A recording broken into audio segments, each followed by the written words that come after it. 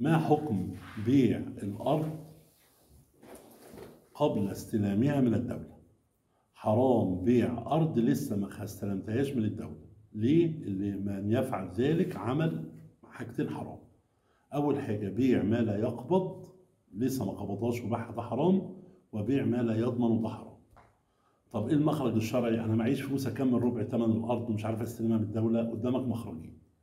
يا إما تستلف لحد ما تكمل ال 100000 اللي هم ربع الأرض وبعدين تاخد محضر الاستلام وتبيع يا إما الحل التاني إنك تجيب واحد يشترك معاك وبعد ما يشترك معاك إيه اللي يحصل؟ تديله إن تاخد أنت نسبة من الأرض هو نسبة من الأرض وبعد ما تستلم تبدأ تبيع له النسبة, بتاعتك. طيب لو ما عملتش الكلام ده وبعت الوصل أنت كده كلت حرام واللي بياكل حرام دعاءه مش مستجاب الرجل أشعث أخبر ودعاءه مش مستجاب وقلبك هيبوظ وفلوسك كلها مال حرام هتضيع والبركه بتاعتها هتضيع ومن من أكل سحتا النار أولى به. ده موجز الفتوى. طب التفاصيل التفاصيل ننصحكم بالكتاب دوت الكتاب ده بيباع بسعر التكلفة فيه كل ما تريده في البيوع. طيب نبدأ بقى نفصل الكلام نفصل الكلام كالاتي طيب اولا الراجل اللي باع وسط الأرض اللي جت عليه بدون ما يستلمها ده راجل باع ما لا يقبض وده حرام. طب إيه الدليل على الحرمة؟ إيه ده الحرمة؟ قال النبي صلى الله نهى النبي صلى الله عليه وسلم أن تباع السلع حيث تباع حتى يحوزها التجار في رحالهم لسه البضاعة بتاعتك ما وصلتش عندك حرام تبيعها. طب أنا شاريها عند الراجل حرام تبيعها.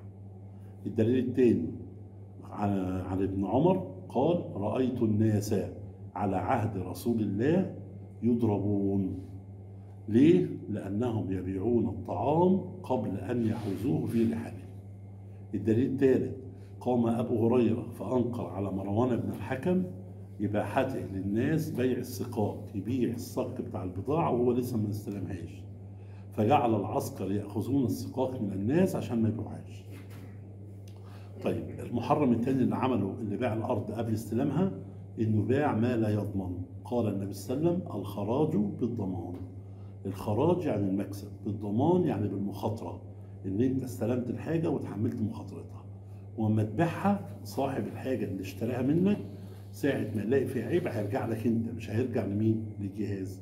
لكن اللي باع الوصل قبل ما يضمن يبقى لو في مشكلة هيرجع للجهاز. وده حرام. طب إيه الدليل اللي كان حرام؟ واحد خد دفع 25 25000 تأمين وجات له حتة أرض باعها وخد 100000 مكسب.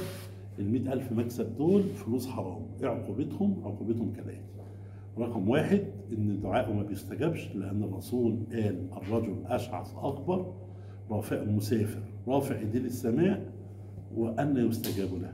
المسافر اللي بياكل حرام ما يستجابلوش تاني حاجة قلبه فسد قال النبي صلى الله عليه وسلم على إن في الجسد مضغة إذا صلحت صلح سائر الجسد بعد ما قال الحلال بين والحرام بين والبركة بتاعته بتضيع لأن ربنا قال فأذنوا بحرب الله ورسوله وقال النبي صلى الله عليه وسلم البيعان بالخيار فإذا بينا بورك لهما في بيعهما لو ما بيناش محقت بركة بيعهما فالبركة بتضيع والفلوس بتضيع وآخر حاجة بتخش الراجل اللي عمل كده بيخش النار قال النبي صلى الله عليه وسلم كل لحم نبت من سحت فالنار أولى به.